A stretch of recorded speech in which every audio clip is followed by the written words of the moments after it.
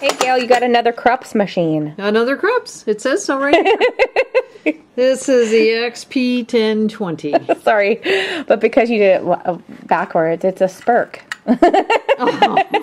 anyway, It's a spurk. It's a spurk. okay, so All right, so this is a steam-driven espresso machine. steam driven, yeah. Okay, This is a stainless steel insert, and this is aluminum. all right. And this comes out of here, but you got to have everything.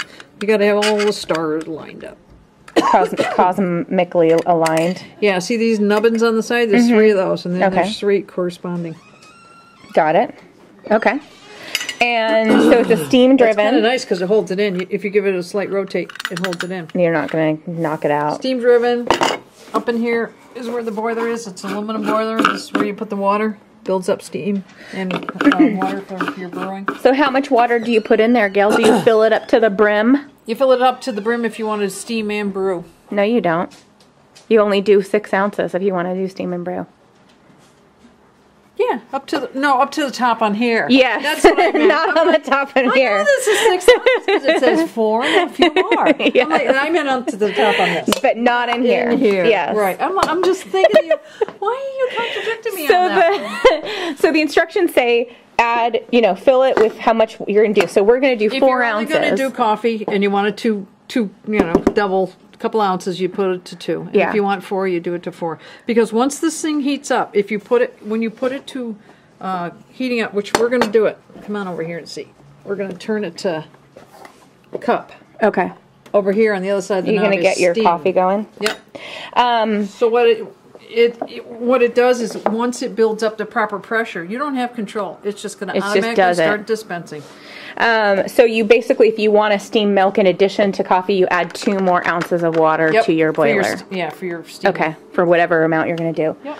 Um, and do- because this is steam, the result is similar to like a stovetop. Yeah, it doesn't have the crema on the top. At least it shouldn't. Yeah, Maybe well, we'll this, see. Maybe this machine does, but Yeah, I hear it starting to get going. Oop, you got some water coming out. a little water coming out. We get it. I believe that's what is known in the steam uh, espresso machine industry as pre-infusion.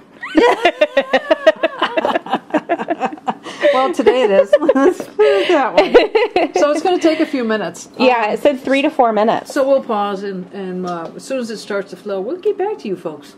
All right, thanks, Gail. There Okay, she goes. She's starting to brew. there she goes. Yeah, so it's not like a gorgeous crema or anything, folks. Uh-uh, no.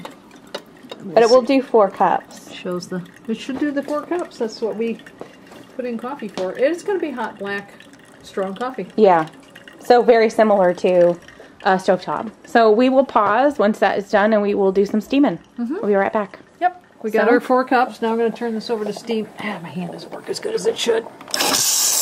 Oh, wait a minute. So yeah, once Let's it do it starts. this way. At least I didn't pick it up and put it in it. So that was a that was a lesson in there for all of us. Gail. Oh, Keep your uh, get your milk ready up there. wow. See, the milk came up to the hole in the side of that Pannarello, so it's decreasing the foam. It came right up there quick. Mm-hmm. Whee!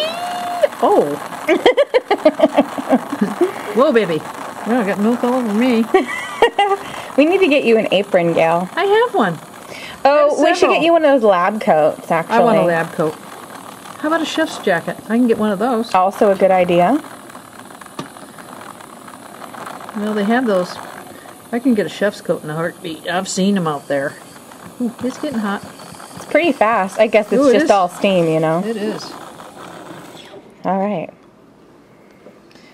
Bigger bubbles for sure, but Yeah. I think underneath all of that, there might be actually be some Scrape it off. underneath all that. Okay. So Look take a look at the coffee. I know.